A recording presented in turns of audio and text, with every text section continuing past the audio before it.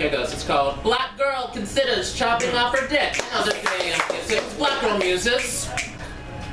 Beautiful things do not look like dick. Dick looks like some rocket running wild, pubic hair jet fuel flaring behind. Or stubby branches on trees that sprout no leaves. Black girl says the dick needs to go.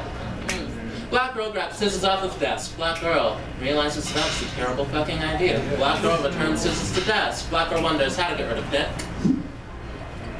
Black girl picks phone up. Black girl sets phone down. It's 3 a.m. Doctor's office does not take calls at 3 a.m. Black girl makes note to self. Tomorrow morning, call doctor, ask about cutting off dick. Black girl repeats that. Doctor, cutting off dick. Black girl's race theory, gender theory, college courses kicked in. Lynch mob passes before black girl's eyes.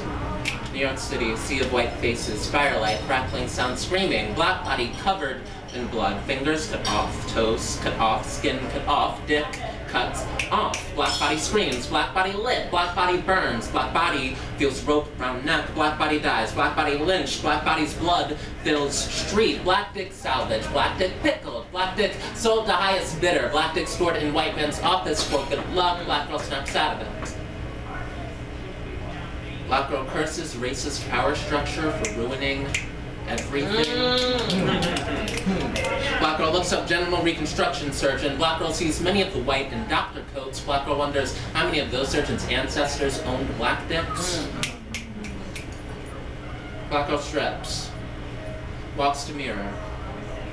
Stares at her dick. Black girl thinks about black girls before her.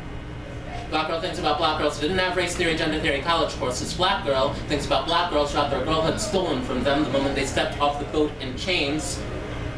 Black girl wonders maybe diaspora is where dysphoria begins. Hmm.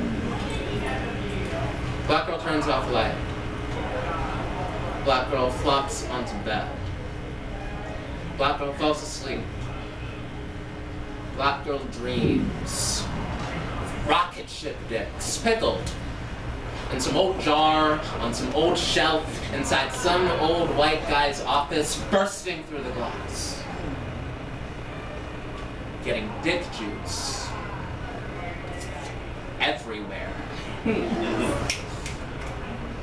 Finally flying three. Thank you so much. Ah!